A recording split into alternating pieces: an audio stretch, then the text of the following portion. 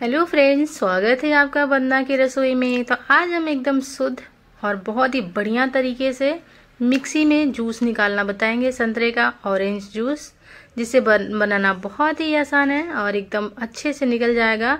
हम मिक्सी में बनाएँगे इसे और संतरे के तो अनेकों फ़ायदे हैं जितने भी बताया जाए कम है।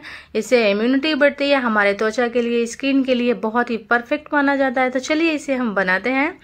तो इसके लिए हम संतरा ले लिए हैं 500 ग्राम, और इसे अच्छे से क्लीन कर लिए हैं वॉश कर लिए हैं। अब क्या करेंगे, इसके ऊपर का जो छिलका है, इसे हम आसानी से निकाल लेंगे। तो एक साइड में हम छिलके संतरे को रख लिए थे। देखिए, एकदम अच्छे से हम क्लीन कर लिए हैं, इसे छिल लिए हैं। ऊपर का छिलका हटाने के बाद कुछ इस तरीके से हो गया है। अब इसे हम अच्छे से पीसेंगे। इसे मिक्सी जार में डालेंगे और इसे जूस बनाएँगे। तो हम जूसर ले लिए हैं। मिक्सी वाला जूसर इसके अंदर आप डाल के जूस आराम से बना सकते हैं और इससे मिल्क शेक भी बनता है। तो इसे जूस बहुत आराम से निकल जाता है और इसे छानने की भी ज़रूरत नहीं पड़ती है। बीच में छिलका रह जाएगा और जूस पूरा बाहर निकल जाता है।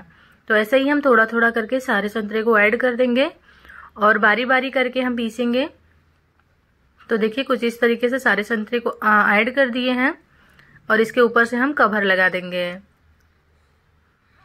अब इसको हम मिक्सी जार में पीस लेंगे। और रुक रुक के पीसेंगे तो बहुत ही अच्छा सा संतरे का जूस बनके तैयार हो जाएगा। ये देखिए, मेरा जूस एकदम अच्छे से साइड में निकल चुका है और इसे हम ग्लास में सर्व करेंगे। जूसर में पीसने से क्या होता है कि हमें छानने की ज़रूरत नहीं पड़ती है।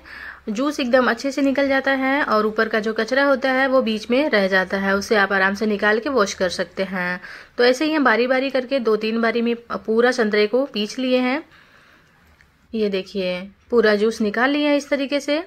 इसे साइड में करेंगे और इसे भी हम सर्व करेंगे।